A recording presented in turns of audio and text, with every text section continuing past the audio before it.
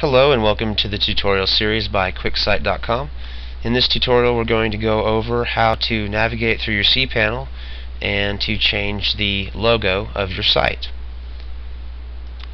So first, assuming that you have logged into your cPanel, you're going to want to go into your legacy file manager or you can go into your file manager. I, I prefer the layout of the, the legacy though. And of course as a customer of QuicSite.com. Um, as part of your account, you get a fully featured cPanel account, complete with Fantastico and the works. And when you click your legacy file manager, it's going to pop open a new window, File Manager, and these folders and files are going to represent the folders and files that make all of this happen, make your website work and the place to start looking for where your logo is located is go to the templates folder. And you'll notice that you have several folders or several templates in here. Each folder represents a separate template. And you can see that on the back end in the template manager here. Notice how the folders and the name of the template here correspond. And we know that we're going to be working in this template folder because that is the one the gold star is uh, for the default template that we're using. And if I go in here and look I'm using default style number three. Now again just keep in mind each template is going to be its own creation meaning all these options on the right hand side here are going to be specific to the template that you get. Uh, typically what you'll find is free templates have less options but templates that you can pay for um, will have more options. So just keep that in mind and we'll go in here and it's going to be under images and I was in style 3 and there is the logo logo p.png and to make sure that's the logo that's what a picture of it is and you can always click the URL in your cPanel to go look at it.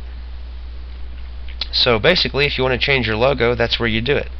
You would simply delete this file delete the file and then you would upload new file and you would browse for the picture on your desktop or on your system and you would click upload.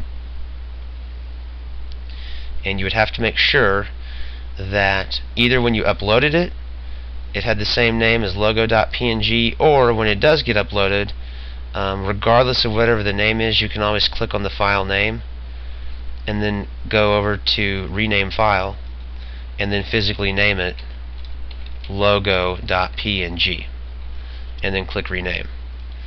And then uh, whatever file you have there will now show in place of this.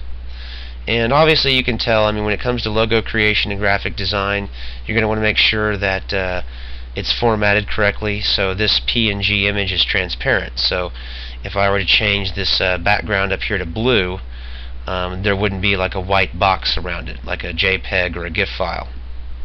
And uh, of course, you're going to want to make sure it's the right size. Obvi obviously, if it's too big, it will uh, distort your template or may not look right. In which case, you do have options to change the height and width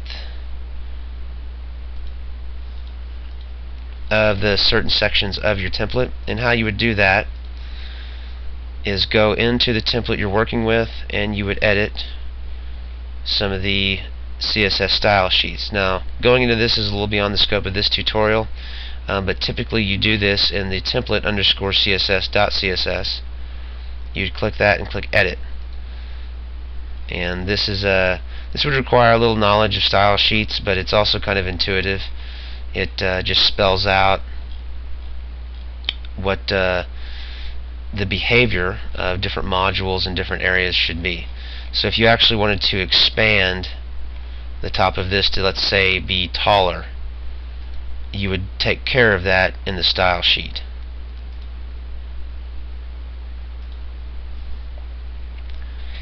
And that is how you add a logo. And again, each template is going to be a little different um, in its folder path and also in its uh, CSS style sheets, how they uh, manifest and tell the website to to look and show.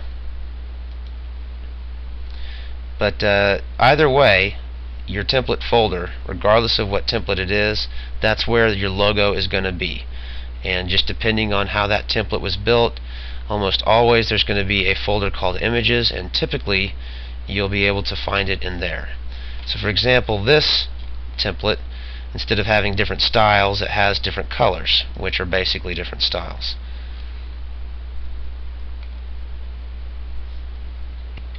And within each style you have the corresponding pictures that would make the site look blue, for example. And here are some basic pictures that are used throughout.